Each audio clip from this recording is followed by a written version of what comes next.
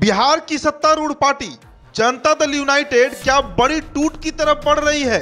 शायद इस बात का अंदेशा बिहार के मुख्यमंत्री नीतीश कुमार को भी हो गया है।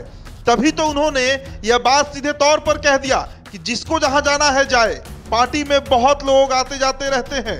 वहीं बीजेपी के संपर्क में जदयू के कौन नेता हैं? इस सवाल पर नीतीश कुमार ने कहा कि संपर्क में वही है जो खुद संपर्क में जाना जाता है।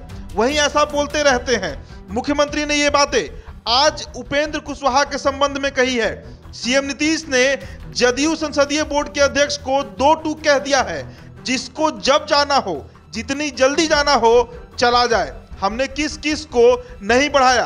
दरअसल, जदयू और आरजेडी के गठबंधन में सरकार बनाने के बाद से ही एक चर्चा चल रही है। कहा जा रहा है कि आरजेडी में जदयू का विलय हो जाएगा। बीजेपी के नेता लगातार जदयू और आरजेडी के मर्जर को हवा देते आ रहे हैं। इसी बीच उपेंद्र कुशवाहा ने बागी रुख अख्तियार कर लिया। उन्होंने सीधे सीधे सीएम नीतीश से यह सवाल पूछ लिया कि आखिर जदयू और आरजेडी के बीच क्या डील हुई है? कुशवाहा ने सीधे तौर पर यह नहीं कहा कि जदयू का आरजेडी में विलय हो जाएगा, लेकिन इस बात की आशंका उन्होंने ज़रूर जता दी है। कुशवाहा ने जदयू और आरजेडी के बीच डील का सवाल उठाकर इन अटकलों को मजबूती ज़रूर दे दिया है। उन्होंने मंगलवार को कहा कि जदयू कमज़ोर हुई है। मुझे नीतीश कुमार से दूर करने की साजिश चल रही है। इसको लेकर उन्होंने पार्टी नेतृत्व पर भी सवाल खड़ा कर दिया।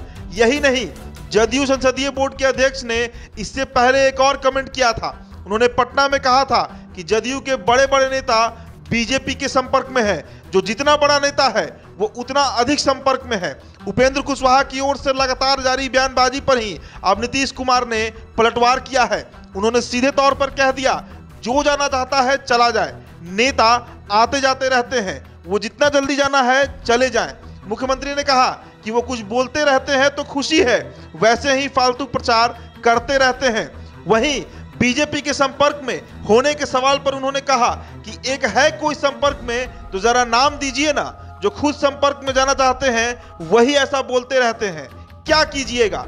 अरे किस किस को कितना बढ़ाए हम? कौन कहाँ चला गया? जाने दीजिए। जिसको जब जाना है, जितनी जल्दी जाना है, जब मन करे, वो चला जाए। तो उपेंद्र कुशवाहा के जुबानी अटैक के बाद, अब जदयू में जैसे घमासान सा छिड़ गया है। बड़ा सवाल यही है कि आखिर कुशवाहा पार्टी से कब जा रहे हैं? इस पर मुख्यमंत्री नीतीश कुमार ने भी अब टिप्पणी कर दी है। उन्होंने सीधे तौर पर कह दिया है कि जिसको जहाँ जाना है, चला जाए। लेकिन इसके मायने आखिर क्या निकाला जाए? क्या सच में जदयू का राजद में विलय होने जा रहा है? क्या उपेंद्र कुशवाहा की जो भविष्यवाणी है, जो सवाल उन्होंने किया, उसमें कितना दम है? ये सबसे बड़ा सवाल फ़िलहाल बिहार के सामने है।